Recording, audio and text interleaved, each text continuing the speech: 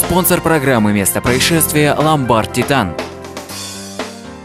Новый год не за горами. Ты в Ломбард Титан спеши. За подарками для близких от своей большой души. Ломбард Титан. Для всех и каждого.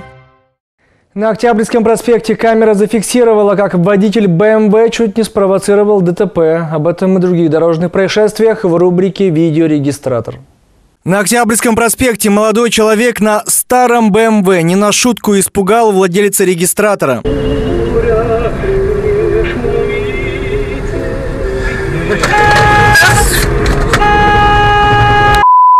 Ты чё, сука, баран?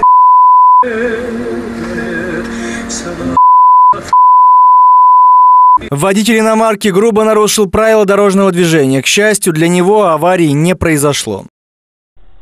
На улице Производственной водитель иномарки перестраивался направо и едва не въехал в машину с камерой.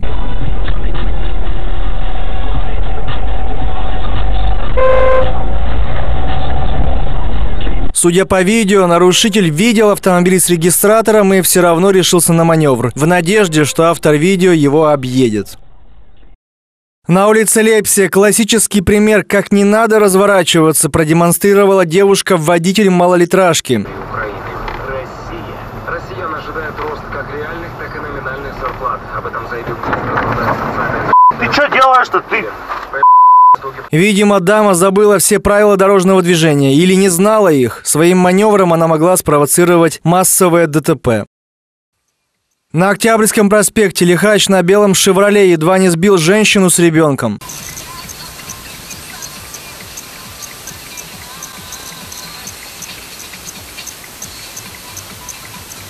На повторе видно, автомобиль начал тормозить, и в последний момент пешеходы успели отбежать. Нарушитель тоже испугался своего маневра. Через несколько метров он остановился и смотрел в зеркала, нет ли пострадавших.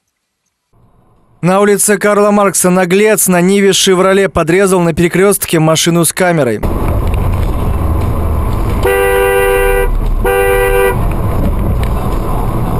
Автор видео немного пошумел, но потом воспользовался правилом 3D, дал дорогу дураку. На улице Воровского камера видеонаблюдения запечатлела, как водитель иномарки не соблюдал дистанцию.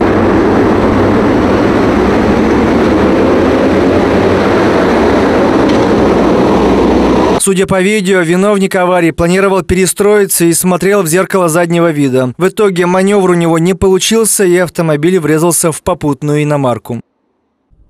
В чистых прудах водитель Нивы «Шевроле» зацепил обочину, и автомобиль занесло.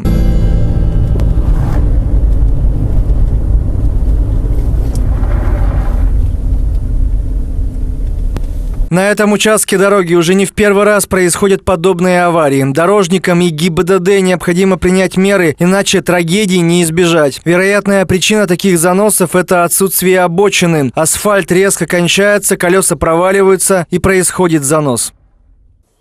В поселке Мурыгина водители и пассажир машины с камерой наблюдали неадекватные маневры темного седана. И что, бабушка? Не знаю, что. Что, ладно? Я откуда знаю.